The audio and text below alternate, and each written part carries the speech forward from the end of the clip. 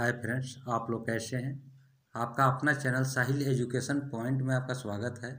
आज हम लोग बात कर रहे हैं class B A part third आज का सब्जेक्ट है history honours paper eight USA दोस्तों चैनल पर नए हैं तो चैनल को सब्सक्राइब कर लें बेल आइकन का बटन दबा दें, जिससे कि जो भी वीडियो अपलोड करें, सबसे पहले आप तक पहुँच सके। चलिए दोस्तों, हम लोग शुरू करें क्वेश्चन पहला क्वेश्चन है जार जो जॉर्ज वांशिंगटन की उपलब्धियों की विवेचना करें। जॉर्ज वाशिंगटन की उपलब्धियों की विवेचना करें। दूसरा क्वेश्चन है 1800 से अठारह सौ उनतीस के बीच अमेरिका विदेशी नीति का पुनरावलोकन कीजिए। 1800 से अठारह सौ उनतीस के बीच अमेरिका विदेश नीति का पुनरावलोकन कीजिए। तीसरा क्वेश्चन है, जैक्सन के प्रजातंत्र की विशेषताओं का विश्लेषण कीजिए। जैक्सन के प्रजातंत्र की विशेषताओं का विश्लेषण कीजिए। सातवां क्वेश्चन है, एक विश्व शक्ति के रूप में अमेरिका के अभ्युदय की विवेचना करें। एक विश्व शक्ति के रूप में अमेरिका के अभ्युदय की विवेचना करें। पांचवा क्वेश्चन है, स्पेनिश युद्ध के कारणों और परिणामों का वर्णन करें। स्पेनिश युद्ध के कारणों और परिणामों का वर्णन करें।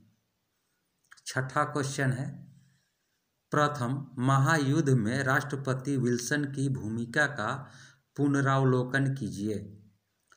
प्रथम, महायुद्ध में राष्ट्रपति विल्सन की भूमिका का पुनरावलोकन कीजिए। सातवां क्वेश्चन है, राष्ट्रपति एफ़ डी रूजवेल्ट की विदेश नीति की विवेचना करें। राष्ट्रपति एफ़ डी रूजवेल्ट की विदेश नीति की विवेचना करें। आठवां क्वेश्चन है, अमेरिकी स्वतंत्रता संग्राम के प्रभाव क्या थे? व्याख्या करें। अमेरिकी स्वतंत्रता संग्राम के प्रभाव क्या थे? व्याख्या करें। नौवा क्वेश्चन है, गृह युद्ध के पश्चात अमेरिका के पुनर्निर्माण के इतिहास पर प्रकाश डालें। गृह युद्ध के पश्चात अमेरिका के पुनर्निर्माण के इतिहास पर प्रकाश डालें। दसवा क्वेश्चन है, अमेरिकी साम्राज्यवाद पर एक निबंध लिखें।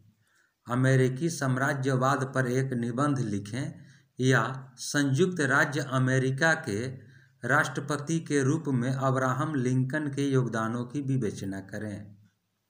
अमेरिकी साम्राज्यवाद पर एक निबंध लिखे या संयुक्त राज्य अमेरिका के राष्ट्रपति के रूप में अब्राहम लिंकन की योगदानों की विवेचना करें। दोस्तों, यह था आपका एक से लेकर के दस तक का क्वेश्चन। दोस्तों, यह वीडियो आपको कैसा लगा? वीडियो को लाइक करें, शेयर करें। चैनल पर नए हैं तो चैनल को सब्सक्राइब कर लें, बेल आइकन का बटन दबा दें। जिससे कि जो भी वीडियो हम अपलोड करें, सबसे पहले आप तक पहुँच सके। अब हम लोग अगले वीडियो में मिलेंगे। तब तक लिए जय हिंद, जय भारत।